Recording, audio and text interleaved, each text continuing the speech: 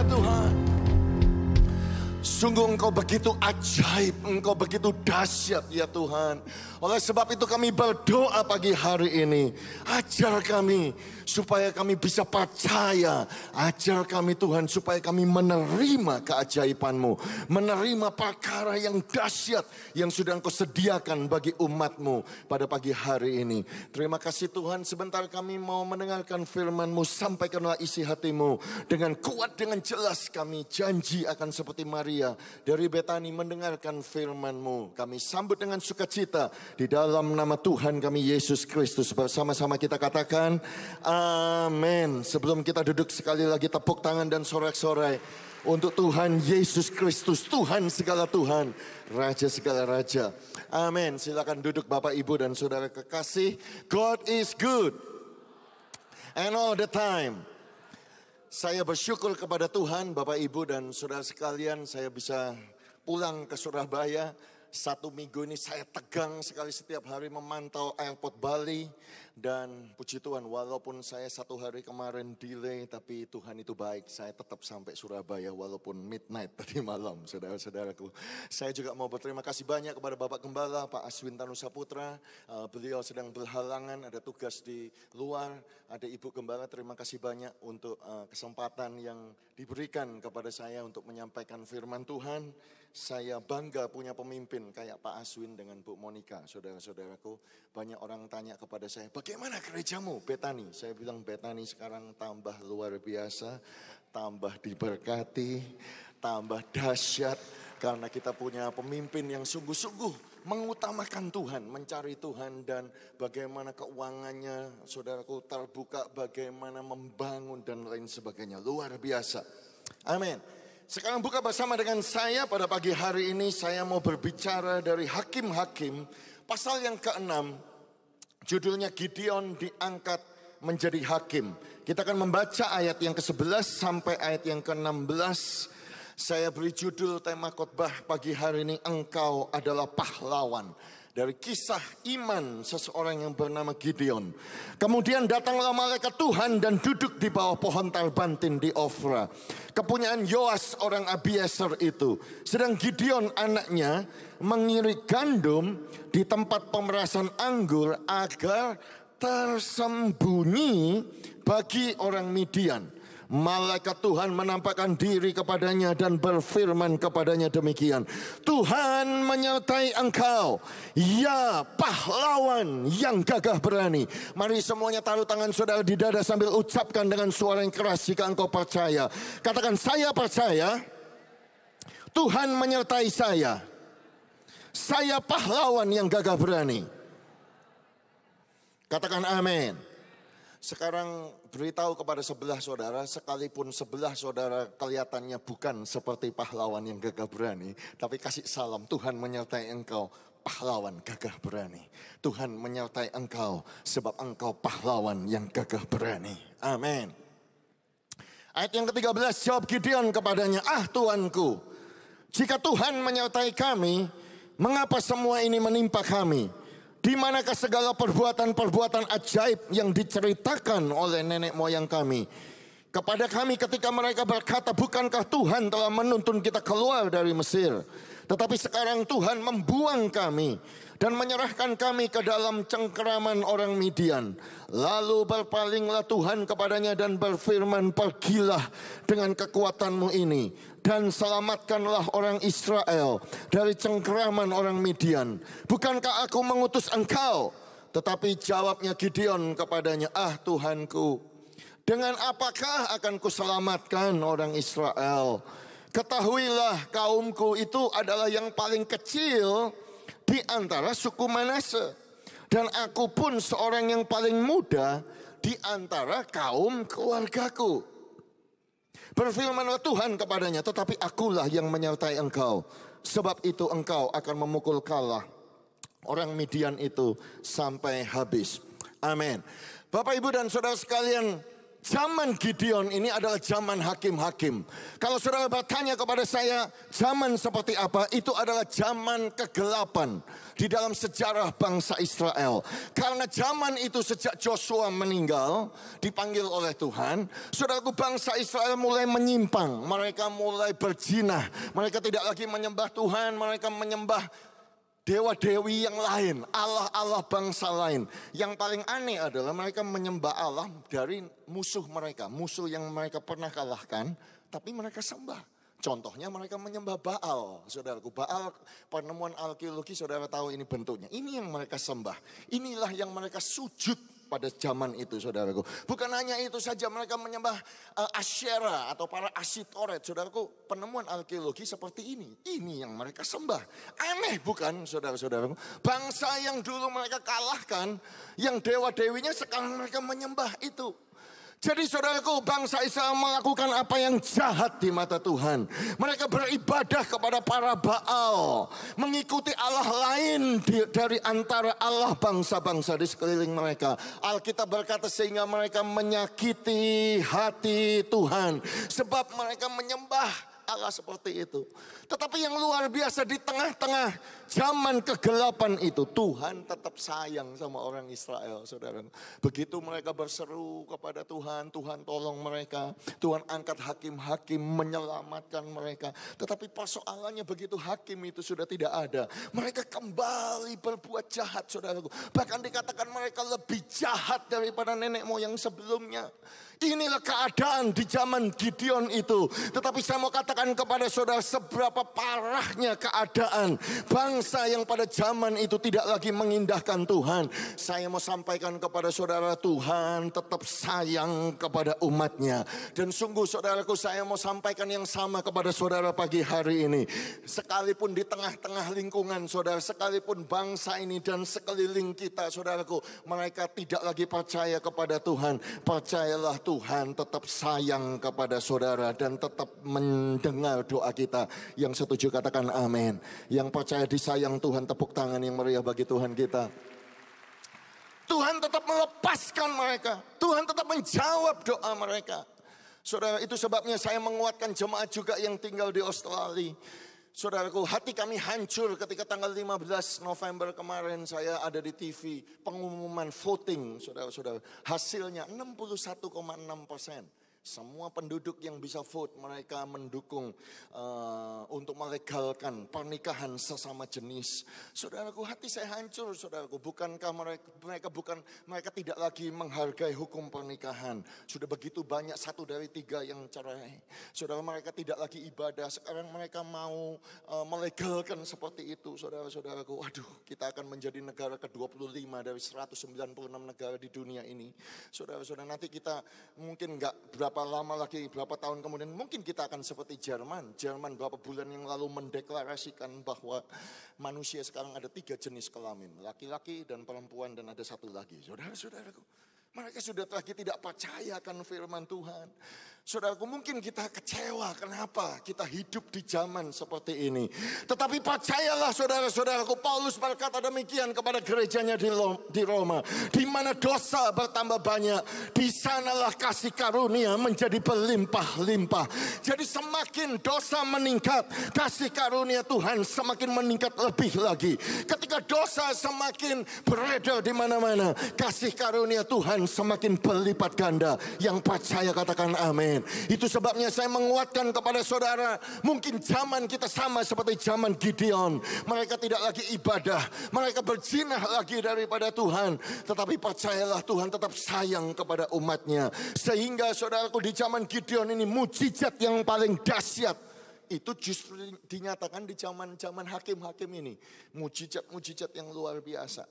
Saya percaya kisah Gideon ini yang bisa ditularkan, yang bisa diajarkan kepada saudara dan saya. Yang pertama adalah mempercayai Tuhan atau percaya kepada firman Tuhan sekalipun tidak sesuai dengan fakta.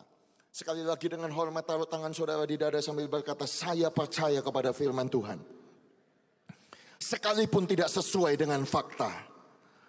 Katakan amin. Dalam keadaan yang demikian Tuhan menyatakan kasih karunia-Nya. Dia mendatangi Gideon Dan dia berkata, Tuhan menyertai engkau, pahlawan yang gagah berani. Saudara-saudaraku Gideon langsung bilang, ah mana bisa, mana mungkin. Aku kan gak mungkin sanggup Tuhan. Dengan apa aku ini bisa menyelamatkan bangsa Israel? Ketahuilah kaumku itu yang paling kecil di antara suku Manase. Saudara kalau melihat suku daripada Israel. Israel itu ada 12 suku. Ada satu suku namanya Yusuf. Yusuf punya dua anak, jadi dibagi dua suku Manasye dan Efraim. Jadi sebetulnya Manasye itu bukan satu suku, separuh suku, jadi kecil. Jadi sudah separuh suku yang paling kecil lagi lebih kecil dari Efraim begitu. Dan dia berkata bahwa kaum keluargaku yang paling kecil. Jadi mungkin marganya dia adalah yang paling kecil dari suku yang terkecil. Keluarganya juga keluarga yang kecil dan dia itu yang paling kecil, yang paling muda dari keluarganya. Jadi Gideon itu bilang, aku ini yang terkecil dari yang terkecil, dari yang terkecil, dari yang terkecil. Itu Gideon, saudara-saudara.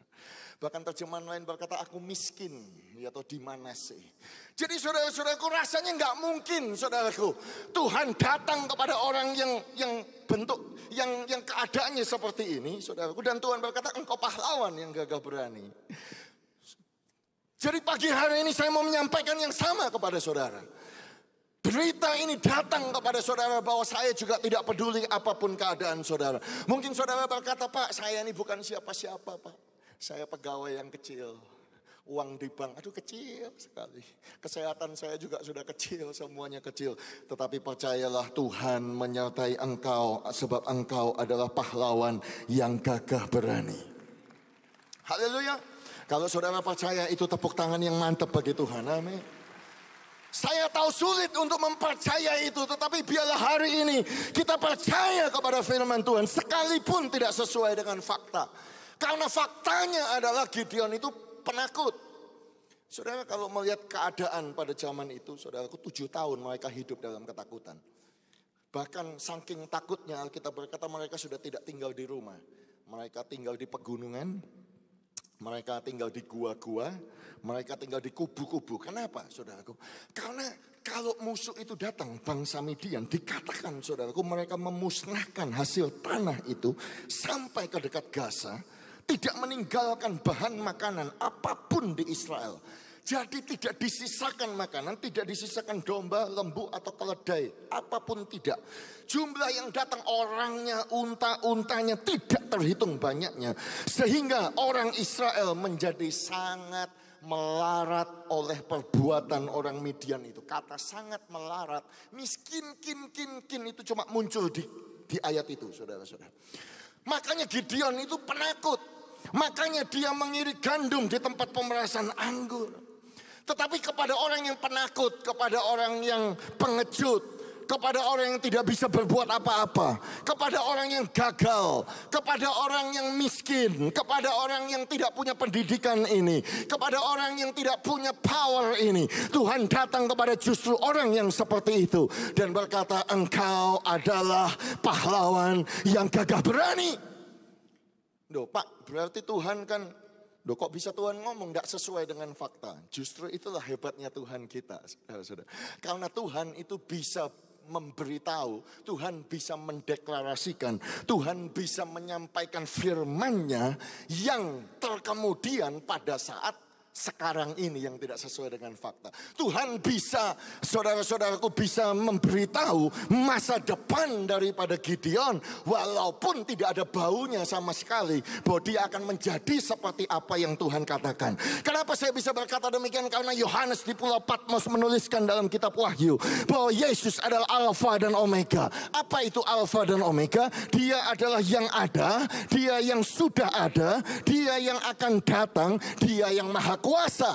Saudaraku di pasal yang ke-21 arti alfa omega yang awal dan yang akhir. Di pasal 22 artinya adalah yang pertama dan yang terkemudian. Jadi Tuhan bisa ngomong yang terkemudian dari hidup Gideon pada saat di awalnya. Dia masih pengecut.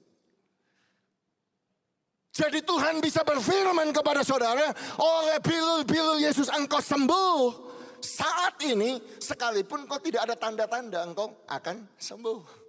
Tapi Tuhan karena dia adalah yang akhir. Dia bisa memberitahu akhir hidup saudara, engkau disembuhkan.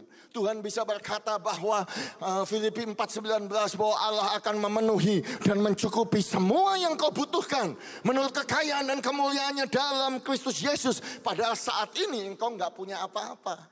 Tetapi Tuhan bisa menyatakan bahwa nanti engkau akan punya apa-apa. Oleh sebab itu saya sebagai hamba Tuhan pun menyampaikan yang sama. Percayalah kepada firman Tuhan. Sekalipun keadaanmu itu tidak sama seperti firman Tuhan. Percayalah firman Tuhan. Engkau sembuh oleh karena korban Kristus Yesus di atas kayu salib. Engkau menjadi umat yang menang bahkan lebih daripada pemenang. Engkau adalah orang yang diberkati. Engkau adalah orang yang sukses. Dan engkau adalah pahlawan pahlawan yang gagah berani. Semua pahlawan tepuk tangan bagi Tuhan kita. Haleluya. Haleluya. Dan saya berdoa supaya saudara pun mempunyai satu kebiasaan saudaraku untuk merenungkan firman ini saudaraku. Memang sulit untuk mempercayainya. Saudaraku sulit kalau tiba-tiba uh, Tuhan datang kau pahlawan padahal uh, keadaanmu sama sekali bertentangan 180 derajat dengan dengan perkataan firman itu. Tetapi justru itulah yang perlu saudara ingat-ingat. Justru yang perlu saudara renungkan. Justru yang perlu saudara hafalkan. Karena otak kita ini ada otak di bawah sadar. Dan otak di bawah sadar itu adalah otak yang merekam perbuatan yang kita renungkan, yang kita lakukan setiap hari secara otomatis. Jadi contohnya saudara nyetir, kalau saudara sudah bisa nyetir mobil berpuluh-puluh tahun, kayak saya saudaraku, kadang kita bisa telepon sambil telepon, sambil ngobrol, sambil makan, tapi sambil nyupir saudara-saudara. Kenapa bisa begitu? Karena itu sudah di, di apa ya setiap hari kita lakukan itu jalan yang sama seperti itu. Nah sama. Jadi kalau saudara berpikirnya seperti seperti Gideon, berpikirnya adalah aku nggak bisa, Aku orang yang mana mungkin Pak, saya pendidikan aja nggak ada. Saya koneksi aja nggak ada Pak kaum keluarga yang bantu kasih modal aja nggak ada. Dan kalau itu yang saudara renung-renungkan, itulah yang saudara percayai, itulah yang saudara masukkan dalam otak saudara, itulah yang saudara taruh dalam hati saudara. Saudara sehingga eh, begitu terjadi sesuatu, saudara akan otomatis berbicara sesuatu yang negatif karena itu adalah kebiasaan saudara. Tetapi bukankah Tuhan mengajarkan kepada kita, jangan kau lupa memperkatakan firman Tuhan ini. Jangan lupa engkau merenungkannya firman Tuhan ini Bukan untuk satu bulan, bukan untuk satu minggu, tetapi untuk seterusnya. Bahkan dikatakan siang dan malam. Supaya engkau bertindak hati-hati sesuai dengan yang tertulis di dalam buku ini. Sebab dengan demikian perjalananmu akan berhasil dan engkau akan beruntung. Siapa yang mau berhasil dan beruntung? Lambaikan tangan saudara tinggi. Amin. Kalau saudara mau berhasil dan beruntung, percayailah firman ini. Sekalipun tidak sesuai dengan fakta. Faktanya adalah orang berusaha menempelkan atribut-atribut. Oh, manusia itu berusaha menempelkan saudaraku label-label atau merek-merek kepada diri kita. Dan kadang-kadang yang menempelkan itu bisa diri kita sendiri. Yang menempelkan itu bisa orang lain. Sama seperti Gideon, ditempelkan. Semua orang sudah tahu. Kamu mau cari orang yang paling kecil. Itu Gideon. Israel. Kenapa? Sukunya paling kecil, kaumnya paling kecil, keluarganya paling kecil, dan dia yang paling kecil. Mungkin paling muda, paling pendek, paling jelek, saudara-saudara, paling nggak bisa berbuat apa-apa, paling bodoh, penakut. Jadi semua sudah tahu. Jadi Gideon ke mana-mana dia taunya, aduh, aku ini orang yang terkecil. Dan kalau saya bisa mengilustrasikan tadi saya minta tolong Pak El untuk maju ke depan tolong bantu saya berdiri di sini. Dan itulah yang ditempelkan oleh manusia. Dan kalau kita tidak hati-hati saudara-saudaraku, merek itu akan melekat kepada kita. Ya, seperti Gideon mungkin ditempelkan karena dia dia adalah seorang penakut, dia mengirik gandum di di tempat pemerasan eh pemerasan anggur. Oh, engkau penakut. Karena engkau penakut itu engkau siapa? Engkau itu pengecut sebetulnya. Dipasang. Jadi ke mana-mana dia percaya bahwa dia, dia, dia orang yang penakut. Saudara-saudara. Makanya dia sulit untuk mempercaya bahwa dia adalah pahlawan. Karena yang dia percaya dia itu orang yang tidak bisa. Dia tidak bisa perang. Dia, dia orang yang tidak berguna. Dia orang yang tidak mampu. Sehingga kalau kalau demikian orang lain berkata, oh kamu itu orang yang gagal. Kau sekolah nggak berhasil, kau gagal. Kau bisnis pun juga gagal. Berumah tangga pun gagal. Didik anak gagal. Semuanya gagal. Ya memang karena apa? Karena seperti Gideon kau miskin. Jadi ke mana-mana pakai pakai mentalitas miskin. Bajunya mereknya miskin, saudara-saudara. Oh, ya toh. Miskin kamu, kenapa miskin? Ya karena ada pendidikan, ya toh. Karena kamu itu stupid, begitu ya toh. Goblok. Kadang-kadang orang tua pun juga begitu ngomong kepada kita, kamu bodoh, kamu itu goblok. Iya. Ini mungkin ciri-ciri yang menempel, yang ditempelkan oleh manusia kepada kepada kita, saudara. Mungkin kadang-kadang saudara memakai label ini sendirian. Oh, engkau itu loner orang. Gak punya teman. iya ya aku gak punya teman ya. Aku buka akun Facebook gak ada yang mau jadi temanku. Cuma sedikit. Aku gak ada yang telepon, gak ada yang ngajak aku shopping, aku sendirian. ya tau orang lain, oh jangan kumpul sama dia, dia loner. Ya tau, gak punya teman. Kenapa? Karena dia orangnya aneh. ya tau, aneh orangnya. Ya tau. Waduh, kenapa dia aneh? Wah jelek dia itu, saudara-saudara. Dipasangi, saudara-saudara. Jelek. Makanya saudaraku manusia itu berusaha menutupi label atau atribut yang ditempelkan oleh manusia lain atau dirinya sendiri. Mereka menutupi dengan pakaian, makanya pakaiannya harus pakai merek yang bagus ya atau saudara-saudara. Makanya ditutupi saudara-saudaraku. Makanya kalau bisa beli beli jam baru, saudara pakai jam baru. Sedikit-sedikit ngomong jam berapa ya? Oh sudah jam berapa ya? Kurang berapa menit lagi padahal baru aja lihat jam. Saudara-saudara. Apa itu menempelkan atribut itu, saudara-saudara? Waduh, aku coba ya. Makanya wanita-wanita, saudara kalau sudah punya cincin baru pakai, saudara biasanya ke gereja duduk paling belakang, sekarang duduk paling depan. Pertolonganmu begitu ajaib. Oh masuk layar. Oh supaya supaya orang melihat bahwa label ini enggak gitu saudara-saudara. Iya aku aku nggak jelek kok.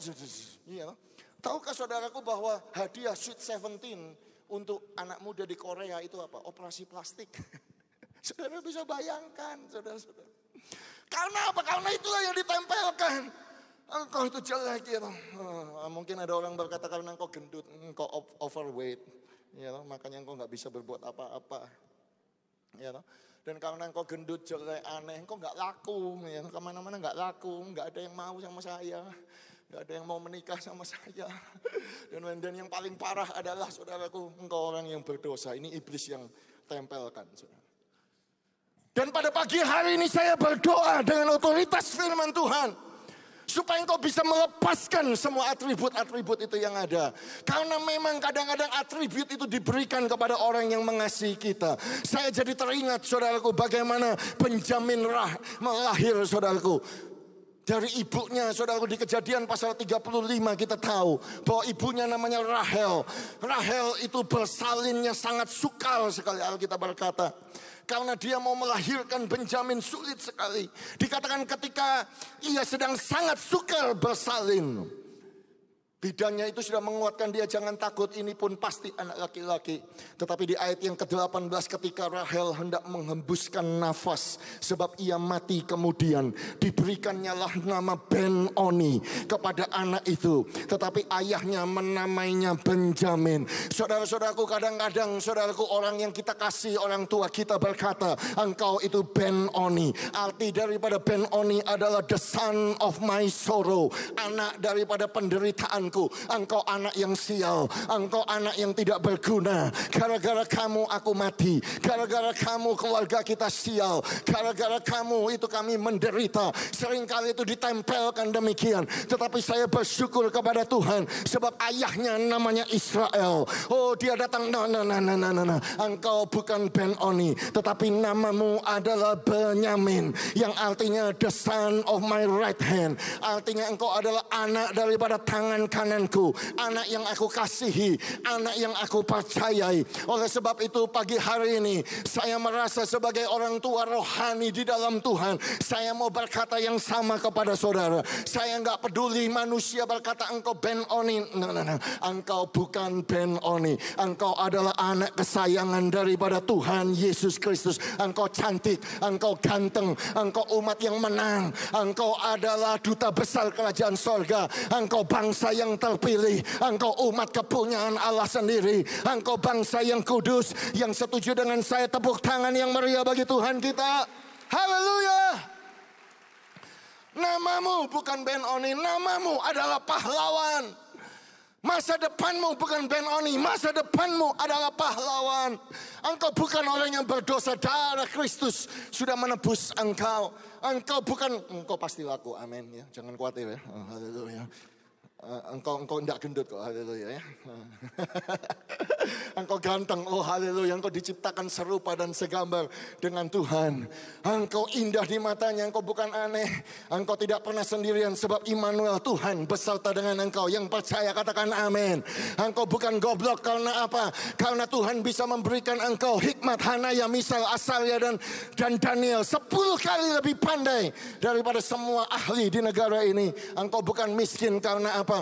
Engkau diberkati. Haleluya. Engkau kaya di dalam Tuhan. Paulus berkata Yesus yang kaya menjadi miskin. Supaya saudara yang miskin menjadi kaya di dalam nama Kristus Yesus. Kok enggak yang kaya enggak tepuk tangan ayo dong. Tepuk tangan. Amin. Haleluya. Mantap gitu. Oh haleluya. Punya mental. Engkau pahlawan yang gagal berani. Engkau bukan orang yang gagal.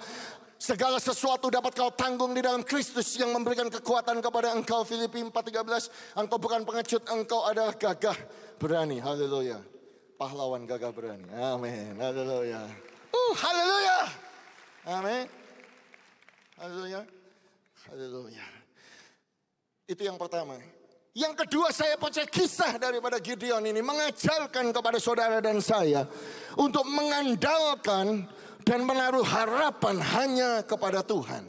Taruh tangan saudara di dada sambil berkata, saya mengandalkan dan menaruh harapan hanya pada Tuhan. Katakan amin. Amin. Kenapa saya berkata demikian? Setelah Gideon belajar untuk percaya kepada firman, sekalipun tidak sesuai dengan fakta, bahwa dia akan menjadi gagah berani, dia akan menjadi pahlawan, dia akan menyelamatkan bangsa Israel sekalipun gak ada tanda-tanda. Jadi butuh proses untuk dia percaya, oh aku pahlawan. Tuhan tidak pernah meninggalkan aku. Oh akhirnya saudara karena dia percaya urapan Tuhan itu turun. Haleluya. Ketika engkau percaya urapan Tuhan itu akan turun. Dan ketika pengurapan Tuhan turun, dia mulai dengan berani saudara itu meniup sangka kalah. Kaget bangsa Israel 32 ribu orang datang berkumpul. Gideon kami siap perang dengan engkau. Tuhan ngomong demikian terlalu banyak rakyat yang bersama-sama dengan engkau itu daripada yang ku kehendaki untuk menyerahkan orang Midian ke dalam tangan mereka. Jangan-jangan nanti orang Israel memegah-megahkan diri terhadap aku sambil berkata tanganku sendiri yang menyelamatkan aku. Saya setuju sekali dengan ayat itu saudara. Karena sering kali saudara-saudaraku kalau kita tidak menaruh harapan dan mengandalkan Tuhan.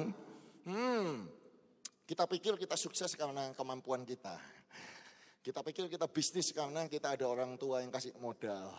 Kita pikir karena kita punya semuanya saudara. Kita sembuh karena ya ada dokter yang pinter. Ya karena ada obat-obatan yang canggih-canggih. Saudara-saudara. Makanya saudaraku Tuhan berkata kepada Gideon terlalu banyak suruh pulang. Supaya engkau tidak mengandalkan manusia. Jadi 22 ribu orang pulang. Tinggal 10 ribu. 10 ribu aja Tuhan masih ngomong. Tuhan berfirman kepada Gideon masih terlalu banyak rakyat. Suruh pulang lagi. 9.700 saudara-saudara. Jadi total yang pulang 31.700. Sisa 300 orang saja. Oh, kalau saya jadi Gideon, saya lebih aman pergi dengan 32 ribu orang daripada dengan 300 orang. Betul nggak saudara-saudara? Ya, Apalagi saya tahu musuh yang saya hadapi. Satu orang Midian, kita berkata. Dua orang Amalek. Tiga semua orang dari sebelah timur. Dikatakan jumlah mereka itu bergelimpangan di lembah itu. Seperti belalang banyaknya. Dan unta mereka tidak terhitung. Seperti pasir di tepi laut banyaknya. Jumlahnya berapa saudaraku? 135 ribu orang. Jadi mungkin hampir 10 kali lipat yang jumlah kita sekarang ini itu musuhnya Gideon. Saudara. Saya kalau jadi 300 atau jadi Gideon, saya merasa lebih aman dengan 32 ribu orang, betul nggak? Ya, ada pepatah bilang the more the better, lebih banyak itu lebih baik. Itu lebih banyak uang lebih baik. Lebih banyak teman lebih baik. Pokoknya yang lebih banyak lebih baik. Tetapi kali ini Tuhan mengajarkan kepada Gideon supaya engkau tidak menaruh harapanmu kepada manusia, supaya engkau tidak mengandalkan kekuatanmu sendiri, tetapi engkau mengandalkan Tuhan. Makanya Yeremia berkata demikian, terkutuklah orang yang mengandalkan manusia. Terkutuklah orang yang mengandalkan kekuatannya sendiri. Kenapa? Karena hati mereka menjauh daripada Tuhan. Ia akan seperti semak bulus di padang belantara yang tidak akan mengalami datangnya keadaan baik. Ia akan tinggal di tanah angus di padang gurun, di negeri padang asin yang tidak berpenduduk.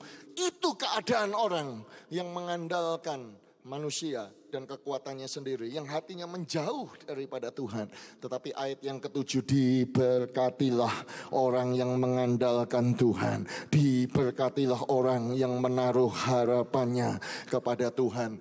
Berapa banyak di antara saudara yang mau mengandalkan Tuhan dan menaruh harapan hanya kepada Tuhan. Lambaikan tangan. Diberkatilah engkau. Amin. Engkau diberkati. Dan berkat Tuhan itu akan seperti ini. Ia akan seperti pohon yang ditanam di tepi air. Yang merambatkan akal-akalnya ke tepi batang air. Yang tidak mengalami datangnya panas terik. Yang daunnya tetap hijau. Yang tidak khawatir dalam tahun kering. Dan yang tidak berhenti menghasilkan buah. Artinya tahun kering boleh datang. Musim kemarau boleh datang. Musim gugur boleh datang. Musim bencana boleh datang. Musim bencana gunung meletus meletus boleh datang. Bencana ekonomi krisis boleh datang. Tetapi saudara dan saya yang mengandalkan Tuhan. Saudara dan saya yang menaruh harapan pada Tuhan. Kita tidak akan pernah khawatir. Kita tidak akan pernah menghasil, berhenti menghasilkan buah. Kita akan tetap hijau. Kita akan tetap sehat. Karena Tuhanlah yang kita andalkan. Amin. Dan jelas Tuhan ngomong dengan 300 orang yang menghirup air seperti anjing. With the 300 that lap like a dog bahasa Inggrisnya. Sudah. Kenapa yang 300 yang dipilih? Yang 300 itu bukan pahlawan, bukan. Bukan yang gagah berani seperti Yoab begitu, seperti isi Baal. Karena yang 300 itu saudaraku seperti anjing. Mentalnya saudara orang yang terkecil. Sudah ngerti maksud saya? Ya, makanya suruh minum. Orang yang bos minum duluan, saudara. Pegawai belakangan, saudara. makanya saudara-saudaraku, saya itu kagum kalau lihat firman Tuhan ini. Makanya ada perempuan dari dari kanaan bangsa asing Siro Fenisia dia berkata Tuhan beri kami uh, apa namanya roti tolong Yesus ngomong tidak pantas memberikan roti ini yang buat anak kepada anjing. Ya itu loh saudara, orang yang tidak dianggap itu oh, orang luar. Tetapi dia bilang anjing pun makan remah-remah, justru anjing itu yang dipakai Tuhan dapat firman Tuhan saudara dan dapat mujizat. Dengan 300 orang yang posisinya terkecil, yang penakut, nggak punya apa-apa, saudara-saudara. Yang orang lain nggak memperhitungkan sama sekali. Justru orang itulah yang dipakai oleh Tuhan. Karena apa? Karena orang yang demikian itu sungguh-sungguh berserah, sungguh-sungguh mengandalkan Tuhan, bukan lagi mengandalkan manusia. Kenapa? Karena sudah nggak ada manusia yang diandalkan, sudah nggak punya teman, mengandalkan kekuatan. Kekuatan apa? Uang nggak punya, ya atau koneksi nggak punya. Sudah nggak ada, 300 itu nggak ada yang bisa diandalkan cuma Tuhan tok. Saudara. Dan itu berita yang baik. Kalau saudara ada dalam keadaan yang demikian, hanya mengandalkan Tuhan saja.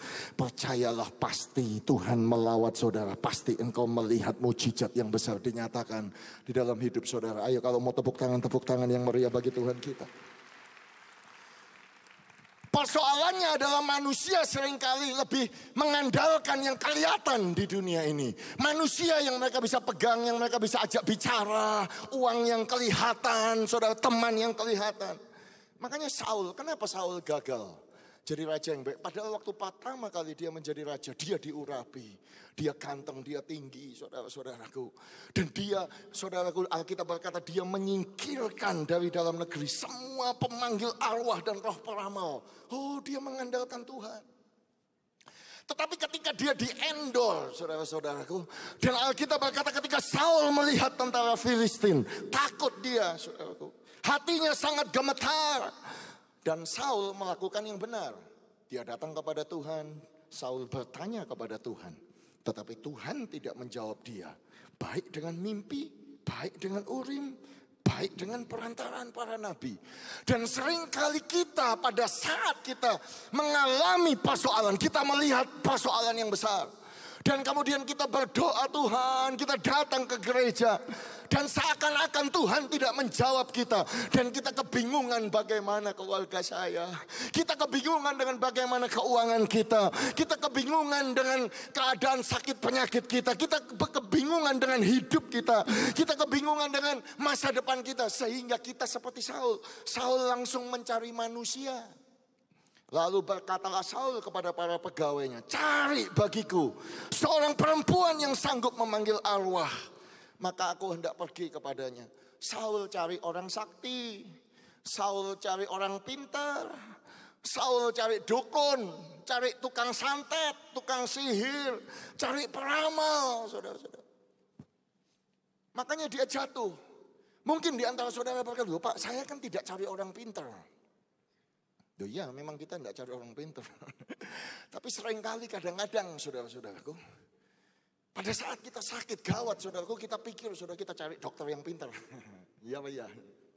Oh, profesor itu pintar dan kita dijelaskan, saudara. Oh, harus obat ini, penelitian ini, research ini, buktinya ini, ini dan lain sebagainya, dan lain sebagainya. Kita mantap, iya, iya, iya, iya, kita bayar obatnya, kita makan, saudaraku, kita minum. Saya tidak anti itu, engkau tetap harus melakukan itu, saudara-saudara. Amin. Ya kita hidup di zaman ini saudara Tetapi yang saya maksudkan itu bukan iman saudara kepada dokternya, kepada obatnya, bukan. Kadang-kadang pun dokter melakukan kesalahan. Saya sebagai orang yang uh, saudaraku dapat kehormatan sama Bapak Gembala dikasih kesempatan pulang untuk khotbah, saudara sudah melayani. Setiap kali pulang banyak jemaat titip, titipnya apa? Obat. Wah aneh-aneh. Jadi saya jadi tahu obat ini, obat itu, obat ini. Dan kalau saudara pergi ke tempat saya ada yang toko namanya Chemist Warehouse. Itu gudang isinya obat semua. Kalau saudara datang saudara bingung, vitamin C tok itu jenisnya bisa ratusan. Belum vitamin D, vitamin B, ginkgo biloba, saudara-saudara apalagi saudara omega 3, pil ini, pil itu, injection ini. Ditanya mau bentuknya liquid, bentuknya suntik, bentuknya uh, macam-macam. Dan kalau saudara percaya akan semua pemberitaan itu, saudara coba satu-satu supaya sehat. Tiap hari bisa minum berbotol-botol, saudara. Iya apa ya, saudara? Jadi yang saya maksudkan bukan itu saudara waktu minum obat itu saudara-saudaraku. Oh saudara minum obat tapi iman saudara. Darah Yesus, darah Yesus, nama Yesus yang menyembuhkan. Saudara ke dokter terima kasih pak sudah memberikan resep itu tapi saudara pulang saudara minum obatnya. Darah Yesus, darah Yesus. Oleh pilul-pilul Yesus dialah yang menyembuhkan aku. Dialah yang memegang hidupku ini. Yang setuju dengan saya katakan amin. Ayo sorak-sorai bagi Tuhan kita. Amin. Jangan lupakan hal itu. Jadi nanti kalau saudara lupakan hal itu, saudara sehat betul. Saudara, wah ini gara-gara itu. Tanganku sendiri. Come on. Saudara-saudara. Makanya saudara secara tidak langsung contoh saja. Ada seseorang yang sakit 38 tahun lumpuh. Di Bethesda, di kolam Bethesda. Ada lima serambi penuh dengan orang sakit saudaraku. Dikatakan kalau malaikat datang airnya goncang orang yang pertama masuk sembuh saudaraku. Dan Yesus melihat orang itu berbaring di situ. Karena Yesus tahu bahwa ia telah lama dalam keadaan itu. 38 tahun berkatalah Yesus kepadanya. Maukah engkau sembuh? Dia nggak jawab mau saudara dia jawabannya begini. Jawab orang sakit itu kepadanya, Tuhan, tidak ada orang yang menurunkan aku. I have no one. Aku nggak punya siapa-siapa Tuhan. Aku nggak punya teman, aku nggak punya keluarga, nggak punya sepupu, nggak punya kakek, nggak punya nenek, nggak punya papa, nggak nggak ada siapa-siapa aku sendiri ya. Makanya aku 38 tahun karena aku nggak punya siapa-siapa. Loh, saudara-saudara iman saudara itu sama siapa sih sebetulnya? Sama Tuhan apa sama manusia. Halo? Orang ini imannya kepada makanya dia bisa sakit hati, saudara-saudara. Saya sering kali ketemu jemaat, kenapa kita bisa sakit hati satu dengan yang lain? Sakit hati sama suami, sama istri, sama pendeta, sama diaken, sama teman, sama bos. Karena kita itu secara tanpa kita sadari, kita mengandalkan mereka untuk berbuat sesuatu kepada kita. Dan ketika manusia itu tidak berbuat seperti itu, kita sakit hati. Aduh pak, saya nggak suka sama orang itu. Karena setiap kali dia upload foto di Instagram, saya selalu like. Tapi begitu saya yang upload dia nggak pernah like. Uh, duh, saudara cari perkenanan itu kok sama manusia sih. Saudaraku, saudara nggak diperkenankan sama manusia, nggak apa-apa. Yang penting saudara dan saya disayang sama Tuhan itu yang paling penting. Amin. Saudara-saudara, ya. Suami istri juga begitu saudara-saudaraku. Aduh pak, dulu suami saya mesra. Gitu. Ya tahu buka pintu mobil dibukain dulu masuk rumah dibukain dulu 15 tahun 20 tahun kawin. Nggak pernah gitu lagi pak. Aduh gimana pak? Dulu kalau waktu pacaran pak aduh ngentut aja nggak berani ditahan-tahan. Hmm, I love you. Sudah menikah 30 tahun tiap malam pak duduk duduk terus pak. Aduh pak ini Duh, saudara itu mengandung partner saudara itu manusia terbatas. Jangan mengandalkan manusia. Suami saudara juga manusia. Halo? Saya nggak suka Pak Aduh sakit hati sama bos saya. Kenapa saya nggak dapat promosi? Kenapa gaji saya nggak dinaikkan? Saya mau keluar. Saudara-saudara. Itu kan berarti saudara mengharapkan promosi itu datang dari bos. Tahukah saudara Daud ngomong apa? Peninggian dan promosi datangnya bukan dari utara, bukan dari selatan, bukan dari timur, dari bawah, datangnya dari atas. Hadiah yang sempurna kata Yakobus datangnya dari atas. Amin dari Bapak segala terang. Harapan saudara dari sana, kasih yang saudara butuhkan. Kekuatan yang saudara butuhkan. Damai sejahtera yang saudara cari. Sukacita yang merupakan perlindunganmu. The joy of the Lord is your strength. Itu bukan datang dari dunia ini, bukan datang dari manusia lain. Manusia itu semua ciptaan, sama-sama statusnya ciptaan. Ciptaan tidak boleh menaruh pengharapan kepada ciptaan yang lain, gak bisa. Baal itu tadi patung itu ciptaan manusia. Enggak boleh, makanya harus Tuhan. Saudara. Ya, amin. Belajar dari Tuhan Yesus. Pada saat dalam keadaan yang paling kritis dalam hidupnya. Paling sukar dalam hidupnya. Yaitu di Taman Getsemani dikatakan ia sangat ketakutan. Bahkan peluhnya ini, keringatnya ini kayak saya ini berkeringat. Itu bukan seperti air tapi peluhnya menjadi titik-titik darah yang bertetesan ke tanah. Dalam keadaan yang Uh, keadaan seperti itu, saudara. Dia butuh teman, dia butuh dijaga, dia butuh butuh seseorang yang dekat dengan dia. Dia bawa uh, Petrus, Yohanes dan Yakobus. Dia berkata, ayo berjaga-jagalah dengan aku. Hatiku sangat sedih seperti mau mati rasanya tinggal di sini. Berjaga-jaga, Yesus berdoa. Dia kembali murid-muridnya tidur. Dibangunin sama Yesus. Bangun, bangun. Ini aku membutuhkan. Ayo berjaga-jaga. Anak manusia akan diserahkan. Ya Tuhan, ya Tuhan, ya Tuhan. Tidak sanggupkan kau berjaga-jaga satu jam. Roh penuh tapi daging itu lemah. Ya Tuhan, ya Tuhan. Tuhan Yesus berdoa. Habis kembali lagi tidur lagi. Dibangunin lagi. Ayo bangun, ayo bangun. Berjaga-jaga. Ya Tuhan Yesus, ya Tuhan Yesus tidur lagi. Yesus berdoa kembali lagi. Dan ketika yang ketiga kalinya. Yesus tidak membangunkan mereka lagi. Yesus membiarkan mereka di situ lalu pergi dan berdoa untuk ketiga kalinya. Wow. Karena apa saudaraku? Karena Tuhan Yesus tahu dia tidak bisa mengandalkan manusia. Karena manusia darah dan daging. Ya dalam keadaan demikian dia butuh. Tetapi dia sadar dia hanya mengandalkan Bapak. Iya? Kalau saya jadi Tuhan Yesus, sudah sakit hati saya, saudara-saudara saya sudah bangkit. Saya menampakkan diri, saya bilang, ingat ya kamu ya. Kamu ikut aku, enak waktu enak tok mau ikut. Waktu aku di Taman Getsemani, kamu tidur. enggak, enggak demikian. Saudara. Tuhan Yesus enggak demikian karena Tuhan tahu manusia seperti itu.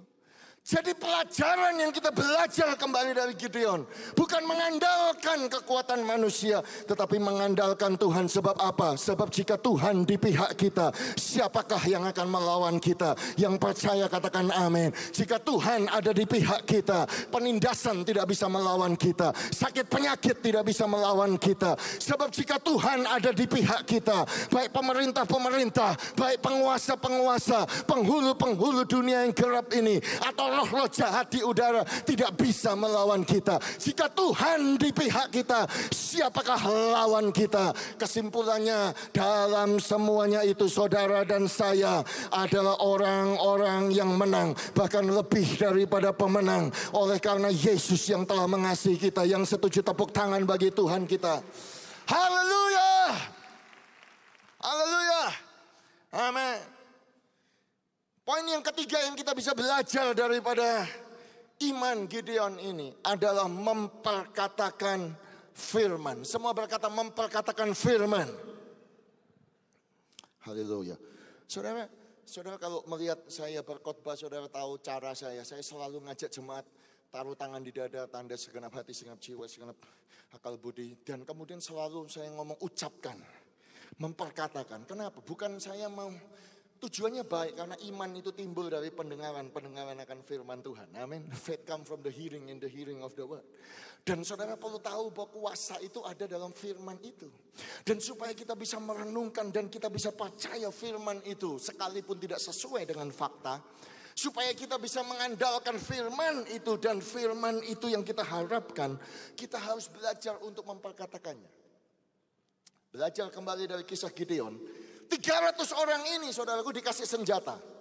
Alkitab berkata dibagi tiga kelompok artinya 100, 100, 100. Dan ke tangan mereka semuanya diberikan sangkakala satu.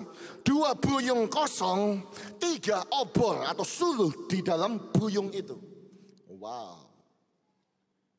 Kalau saya disuruh perang ke Korea Utara yang punya rudal balistik. Kemudian saya perang cuma bawa trompet, saudara-saudaraku. Sama buyung kosong, sama obor. Wah, ini misi bunuh diri, saudara-saudara. Ini butuh iman. Ini butuh orang yang sungguh-sungguh percaya. Saudara sudah tahu bahwa lawan saudara itu jumlahnya tidak terhitung. Saudara sudah tahu karena tujuh tahun engkau sembunyi. Engkau tinggalkan rumah, tinggal di gua. Engkau tahu persis, engkau sudah coba tahun pertama engkau nggak bisa lawan, tahun kedua nggak bisa lawan, tahun ketiga engkau menyerah, tahun keempat engkau sudah tinggal di gua. Mungkin saudara-saudara. Tetapi senjatamu cuma itu. Oh haleluya.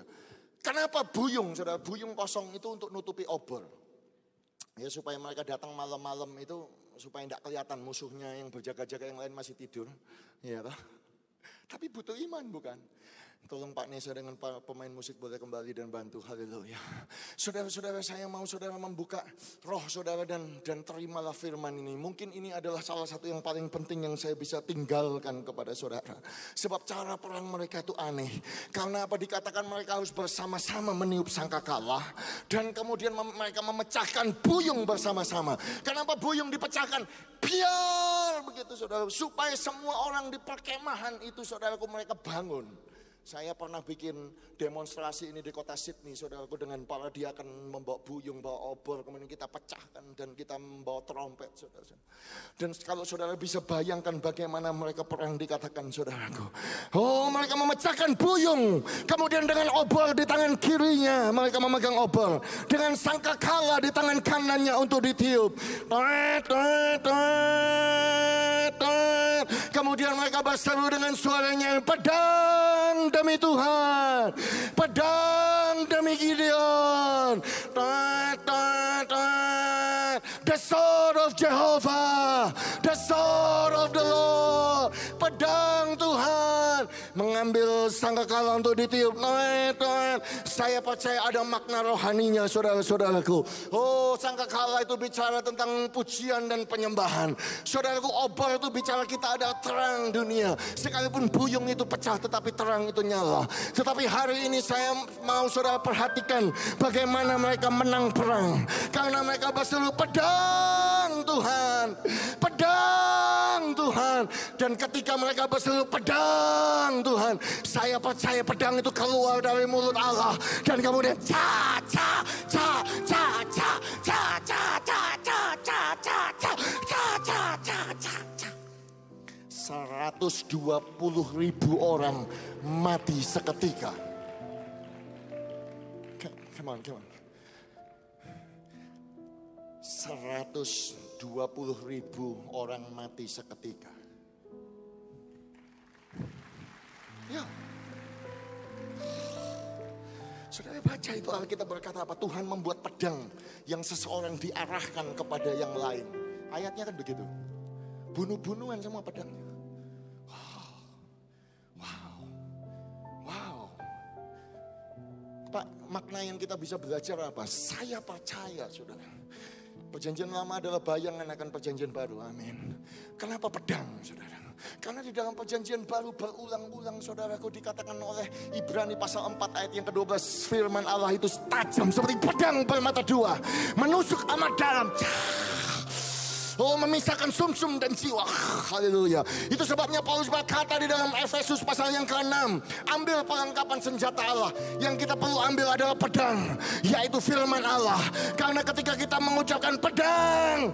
Bilu Yesus menyebutkan. Ca, ca, ca, ca, ca, ca. Kangkel-kangkel tumul-tumul pergi semuanya dalam nama Yesus. Amin.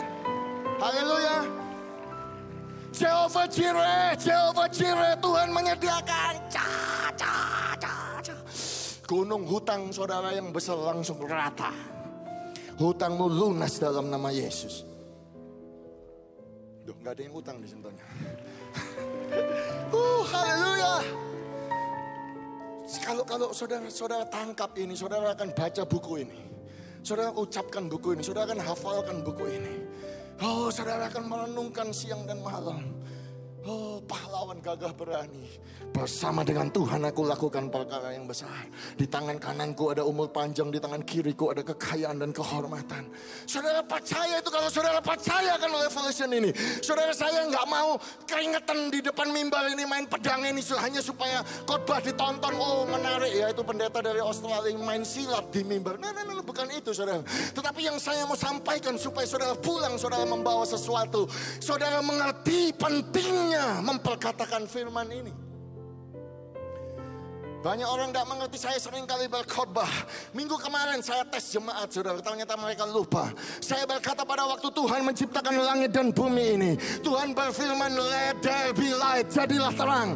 Lalu terang itu jadi. Dan Tuhan melihat terang itu baik. Dipisahkan terang itu dari gelap. Allah menamai terang itu siang dan gelap itu malam. Jadilah petang, jadilah pagi hari yang pertama. Oh, luar biasa. Hari yang kedua, Tuhan ciptakan apa saudara? Baca sendiri di Alkitab. Hari ketiga Tuhan ciptakan apa? Baca sendiri di Alkitab. Tahukah saudaraku bahwa hari yang keempat baru hari yang keempat Tuhan menciptakan matahari, bulan dan bintang. Baca itu maka Allah menjadikan kedua benda penerang yang besar itu. Yakni yang lebih besar menguasai siang dan kecil menguasai malam. Dan menjadikan bintang-bintang singkat cerita Tuhan memisahkan terang dari gelap. Tuhan melihat bahwa semuanya itu baik. Jadilah petang, jadilah pagi itulah hari yang keempat. Duh Pak, jadi yang menerangi itu hari pertama, kedua, ketiga apa? Lah nggak ada matahari. Ini pelajaran dasar, saudara. Tapi saya mau katakan kepada saudara, manusia itu berpikirnya apa? Kalau gak ada matahari, gak ada terang. Siapa bilang? Matahari itu bukan sumber terang, bukan. Sumber terang itu datangnya dari firman. Pada mulanya firman Tuhan. Bukan matahari, sumber terang matahari itu Tuhan yang ciptakan.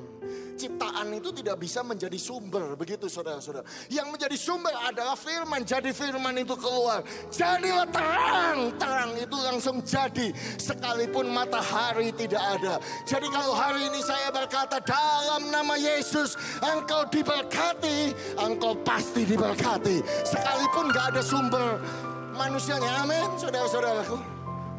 Karena alam semesta ini jadi kata Ibrani pasal yang ke-11. Dijadikan oleh firman Allah dari yang tidak ada menjadi ada. Pak kenapa Bapak bisa bilang begitu terang itu bukan datang dari matahari. Karena Yohanes di Pulau Patmos menuliskan saudara bahwa sorga nantinya. Kota itu tidak memerlukan matahari dan bulan untuk menyinarinya. Sebab kemuliaan Allah meneranginya dan anak domba itu adalah lampunya. Jadi sumber terang itu bukan dari matahari. Sumber terang adalah firman itu sendiri. Amin. Sekali lagi sumber kesembuhan Tuhan. Sumber kekuatan Tuhan firmannya. Sumber pertolongan